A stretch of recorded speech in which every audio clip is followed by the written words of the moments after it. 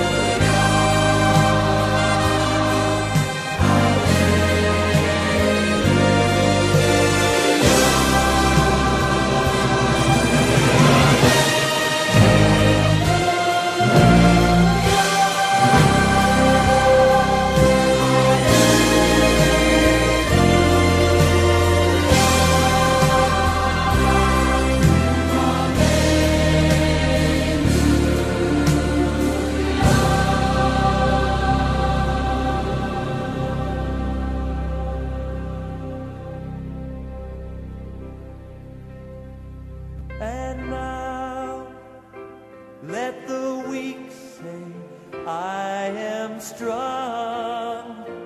Let the poor say, I am rich because of what the Lord.